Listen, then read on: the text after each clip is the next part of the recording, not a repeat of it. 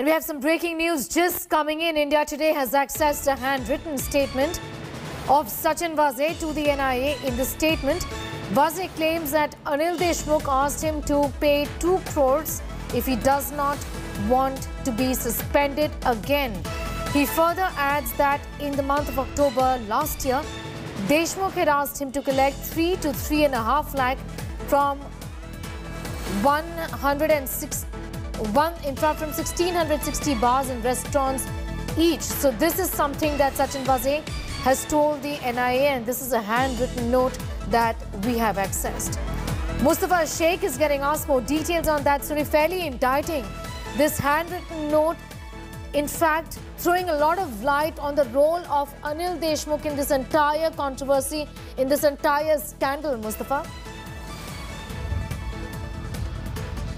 Yes, of course, the letter which has come out, it has been signed by Sachin Vaze and it has been written while Sachin Vaze was is in the custody of the NIA.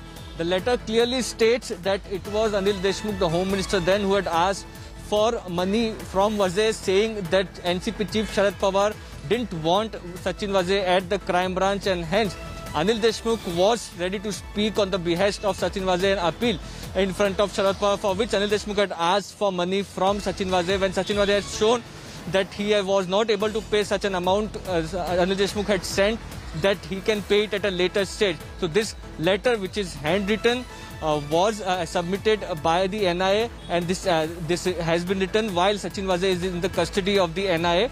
The letter clearly states that there was a demand for money from the then Home Minister Anil Deshmukh to uh, Sachin Vaze. Though the letter is also yet to uh, basically main allegation started from Parambir Singh saying uh, about the restaurants and bars money being collected at the behest of Anil Deshmukh. We have to see what details about that emerges. But yes, the letter clearly states one more allegation on the uh, former Home Minister Anil Deshmukh about demand for money from policemen. Back to you.